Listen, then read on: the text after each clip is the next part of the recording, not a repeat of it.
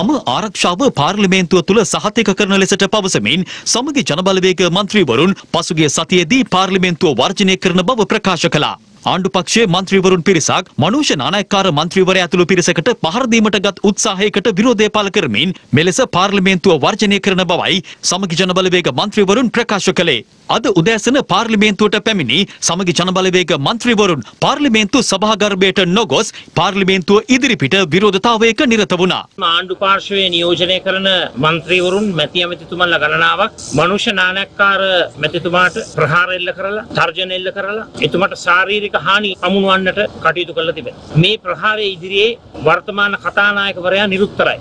ඔහු නිහඬයි. මේ වන විට කතානායකවරයාට සමගි ජනබලවේගයේ පාර්ලිමේන්තු මන්ත්‍රීවරුන්ගේ ආරක්ෂාව පිළිබඳව සහතිකයක් ලබා දෙන්නට බැරි වෙලා තිබෙනවා. තමන්ගේ තැනේ ඉඳලා විපක්ෂයේ පැත්තට ඇවිල්ලා එසේ ප්‍රහාර එල්ල කරන්නට කටයුතු කරපු සියලුම ආණ්ඩු පාර්ශ්වයේ මන්ත්‍රීවරුන්ට මැති ඇමතිවරුන්ට විරුද්ධව කතානායකවරයා අනිවාර්යෙන්ම පියවර ගන්නට ඕන. මෙවන් තත්ත්වයක් අපිට පිළිගන්නට බෑ. ගරු කතානායකතුමනි. කරුණා කරලා මේකට පියවර ගන්න. කරුණා කරලා තමුන්නාන්සේ නිර්වින්දනය වූ පුද්ගලෙක් බවට එහෙ මෙහෙ බල බල ආණ්ඩුවේ නිලධාරීන්ගේ ආණ්ඩුවේ මැති ඇමතිවරුන්ගේ උපදෙස් මත කටයුතු කරන කතානායකවරයෙක් බවට පත් නොවි කතානායක පුටුවේ ගරුත්වය රැකගෙන අපක්ෂපාතීව කටයුතු කරන්නට තමුන්නාන්සේ සූදානම් වෙන්නට ඕන. මේ අතර සමගි ජනබලවේග මන්ත්‍රීවරුන් නොමැතිව අද පෙරවරුවේ පාර්ලිමේන්තුවේ කටයුතු ආරම්භ වුණා. පාර්ලිමේන්තු ආරම්භ වීමෙන් පසුව පසුගියදා සිදු වූ මන්ත්‍රීවරුන්ගේ අශෝභන හැසිරීම පිළිබඳව වාර්තාවක් ඇඳවීමට ජ්‍යෙෂ්ඨ මන්ත්‍රීවරුන්ගෙන් යුත් කමිටුවක් පත් කරන බව කතානායක මහින්දයාප අබේවර්ධන මහතා ප්‍රකාශ කළා.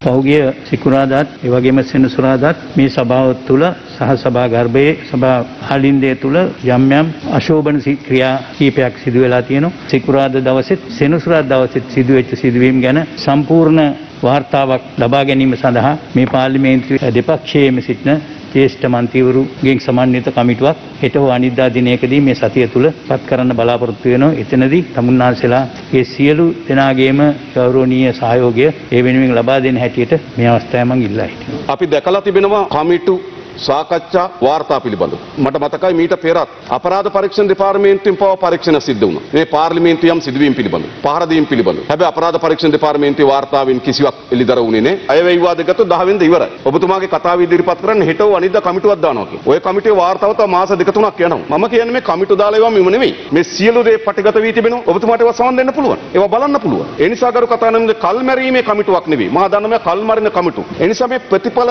නැති කාලයේ වැලිතලාව විසින් යටගහන ප්‍රශ්න රාෂ්ට්‍ර බවට මේවා පත් වෙනවා. ඒක තමයි අපිට තියෙන අත්දැකීම. කවුරු හරි කොවිඩ් රෝගියෙක් අහුණොත් පේත්‍රාරිතුමා අපිට කියනවා ඒ පාර්ලිමේන්තු මන්ත්‍රීවර මේ අයත් එක්ක තමයි කතා කරේ. මෙයා තමයි මුණ ගැහුනේ. මෙයා මෙයාත් එක්ක තමයි සමීපව හිටියේ. මෙතන ඉන්නකොට මුවාවරණය කරගෙන හිටියේ නෑ කියලා වේත්‍රාරිතුමා අපිට කරුණු ඉදිරිපත් කරා. ඒකෙන් පෙන්වු කරන්නේ කුමක්? පාර්ලිමේන්තු ඇතුලේ සිදුවන සෑම සිදුවීමක්ම පටිගත වෙන වෙන බව. ඒ නිසා දැන් ඔබතුමාගේ වගකීම. ඒ පටිගත කිරීම බලලා ඔබතුමා තීරණයක් ගන්න. මේ අර මෙහෙන් ජ්‍යෙෂ්ඨ මන්ත්‍රීවරු දාන ওই මන්ත්‍රීවරු දෙකට බෙදෙන එක වෙන්නේ ඕකස්. හැබැයි ඔබතුමා තමයි නිසි බලධාරියා. ඔබතුමාට තමයි වගකීම තිබෙන්නේ. ඒ නිසා ඔබතුමා මේ කමිටු මත එකිනෙකා මත පටවන්නේ නැතුව ඔබතුමා රුජු තීරණයක් ගන්න ඕන. අගමැතිතුමා ඉන්නවා මේ පාර්ලිමේන්තුවේ දීර්ඝ කාලයක් මේ පාර්ලිමේන්තුව කටයුතු කරලා තිබෙනවා. විවිධ වාග් සංග්‍රාම වලට විවිධ ගැටුම් වලට නේද? සමහර නායකත්වයක් දීලා තියෙනවා, මැදිහත් වෙලා තියෙනවා, බලාගෙනත් ඉඳලා තියෙනවා, උපේක්ෂාවෙන් බලාගෙනත් තියෙනවා, නිවලක් තියෙනවා. මේ ඔක්කොම කරලා තිබෙනවා. හැබැයි ගරු අගමැතිතුමාට දැන් නිශ්චිත ප්‍රශ්නයක් මතුවී තිබෙනවා. මේකට නිශ්චිත විසඳුමක් ඕන. එහෙම නිශ්චිත විසඳුමක් නැතුව තවදුරටත් මේ පාර්ලිමේන්තුව පවත්වාගෙන යන්න හැකියාවක් නැහැ. ඒ නිසා මම ගරු කතානායකතුමාට අවධාරණය කොට කියන්නේ. මේක ඔබතුමාගේ බලය. ඒ නිසා කමිටු දාන්නේ නැතුව එහෙට මෙහෙට පටවන්නේ නැතුව ඔබතුමා නිශ්චිත වගකීමෙන් යුතුව මේ පිළිබඳ නිරාකරණය කරන්න කියන ඉල්ලීම තමයි ගරු කතානායකතුමා ඔබතුමාගෙන් ඉල්ලා සිටින්නේ. පළමුව ගරු කතානායකතුමාගේ අනසක මේ පාර්ලිමේන්තුවේ පීඨවය යුතුයි. ඒ අනසක මතයි පාර්ලිමේන්තුව ගමන් කරන්න තියෙන්නේ.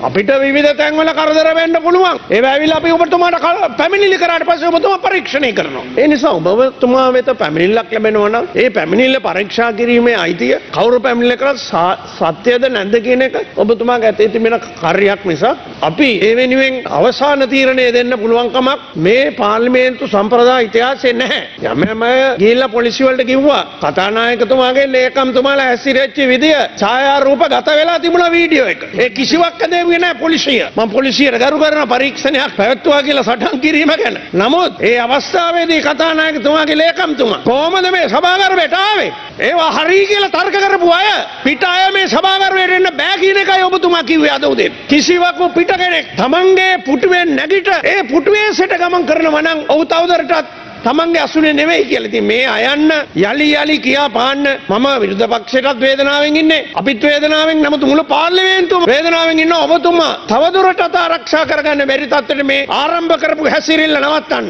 ඒ කල යුතුමයි කතානායකතුමනි. පළමු කොට ඔබතුමා අනසක පීඨවල පාර්ලිමේන්තුව. ඒ කටයුතු ගෙන යාමට සභානායකතුමා හැටියටත් සංවිධායකතුමාට හැටියටත් අපේ බැඳීමක් තියෙනවා. මීට වඩා සක්‍රීය විය යුතුයි. මම බරපතලකමක් මේ කියන්නේ. ඒ ප්‍රශ්නය ආවේ හවස.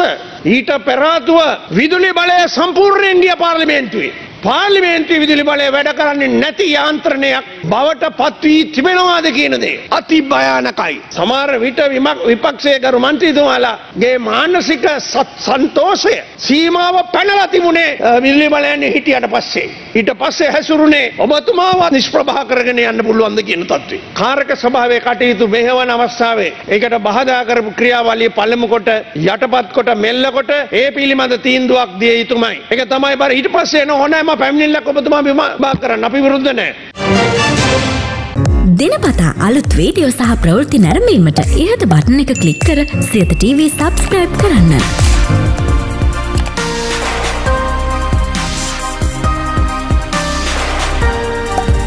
අලුත් වීඩියෝ ගැන මුලින්ම දැනගන්න මෙම සීනුව කලික් කරන්න.